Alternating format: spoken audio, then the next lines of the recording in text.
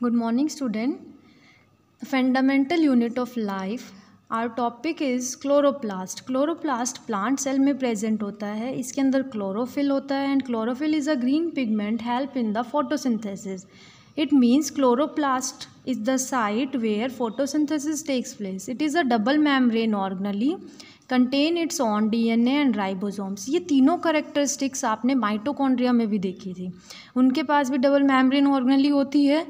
खुद का डीएनए होता है खुद का राइबोसोम होता है। Here is a well label diagram of chloroplast this is double membrane outside जो मैमब्रेन है that is outer membrane and inside membrane is inner membrane the space between two membrane is known as inter membrane space circular DNA present These small structures, dot-like structures known as ribosomes and जैसे mitochondria में यहाँ पर jelly like substance जो था, वो उसे matrix बोलते थे here it is known as stroma अगर आप कॉइन्स की स्टैकिंग करते हैं कॉइन्स जो होते हैं उसको एक के ऊपर, एक के ऊपर ऐसे स्टैक करके पाइल अप करके स्टैक बनाओगे the structure seems to be like this तो इसमें अगर एक कॉइन को कंसिडर करें ओनली एक कॉइन को इंडिविजुअल कॉइन्स को कंसिडर करें तो हम उसको थाइलाकॉइड बोलते हैं।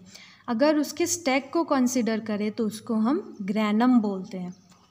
This is the well label diagram of chloroplast here you can mark out the difference between mitochondria and chloroplast mitochondria it synthesize A T P chloroplast is does not synthesize A T P mitochondria it is known as power house of the cell it is known as kitchen of the cell because photosynthesis chloroplast में होती है and photosynthesis होने से food बनता है। That's why it is known as kitchen of the cell mitochondria में inner membrane में इन foldings होती हैं।